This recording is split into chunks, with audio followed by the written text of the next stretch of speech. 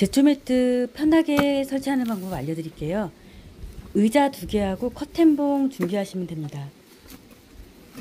제초 매트에 커튼봉 꽂아서 의자하고 의자 사이에 얹혀주면 됩니다. 그리고 원하는 위치까지 제초 매트를 쭉쭉 당겨주면 됩니다.